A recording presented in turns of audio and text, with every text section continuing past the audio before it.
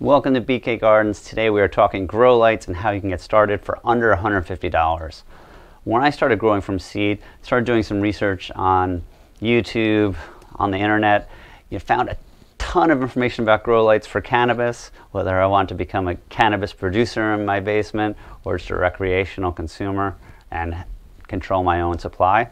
But there was not a ton of information about seed starting, and there's still not a ton about seed starting in a basic um, LED and grow light setup for vegetable gardeners and folks trying to get seed starting going. So this episode is about that. You know, first off, the benefits of why do you want a grow light system. Number one, seed starting. You know, most gardeners, and the way I started was I started with starter plants, little plants like this. Here I have some rosemary and basil that you'd buy at, say, your garden center, uh, Whole Foods, your Lowe's, etc. These are commercially available. They're, you're limited when you're starting with starter plants to what's available commercially. And generally, they're going to sell the, the, the, varieties that travel well, that can go to a thousand stores, but not the ones that maybe are the most interesting tasting. They won't be focusing on heirlooms, really amazing variety of uh, vegetables that are out there. So growing from seed vastly expands the possibilities for yourself as a gardener. Number two, here in New York, it's still cold. It's like right now, it's early March. Um, that means our last frost, we're still 15 weeks away. Starting by um, seed right now and getting my seed starting here in New York, and like I have, it gives me about a 15 week jump. So instead of planting in late April after last frost, I can start in early March, get the plants in a really good place, make them hardy, and then when I transfer them outside in April, they've already got a 15 week jump on the season. Last but not least is expanding your calendar in a cold environment whether you're in Fairbanks, Fairbanks, Alaska, or here in Brooklyn, New York, hey, we have a good chunk of the year where we can't grow outside because it's too darn cold. Here, what we have is, uh, as you can see, I have some greens growing. It's early March. I've had herbs uh, growing here all, all year. So really, I'm not relying on the, hay, just packing all my growing into a four or five month window. I actually think in terms of 12 months out of the year. So that's the, the benefits of growing from a, a grow light system. First off is like how do we get set up with a shelving unit? Let's go take a look. First step, shelving unit. The reason why you want a shelving unit is because this will give you option of adding multiple lights or as in this case, I bought this in Home Depot about two weeks ago. 10 minutes to assemble, no tools involved, literally um, no screws or anything.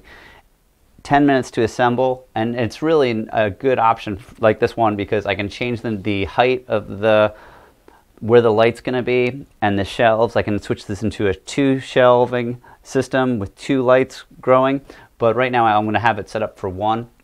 Again you can buy this I'll put a few links below 50 $60 and you are good to go.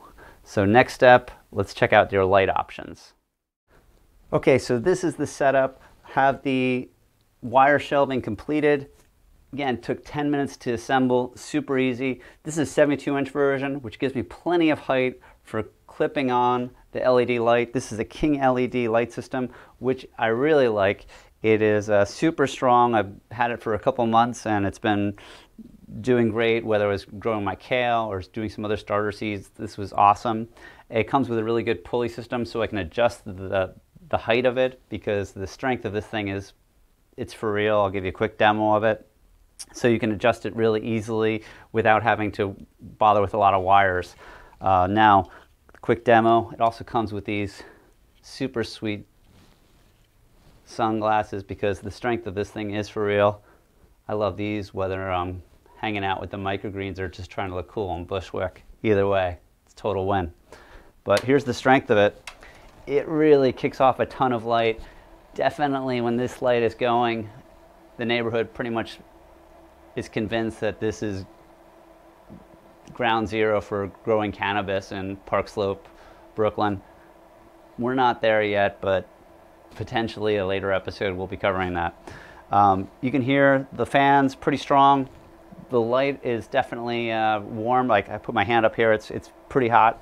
Um, but this thing generates a ton of light and is a great system. We'll put links below about you know, what option I think is best for this specific setup. And uh, last but not least, let me give you a uh, quick look at what, how this looks with the microgreens underneath it. All right, so here's the final setup. Very flexible, super powerful, gives you plenty of options for growing, whether you're doing starter seeds, microgreens, or trying to grow 12 months out of the year. Hit me up with comments, questions below.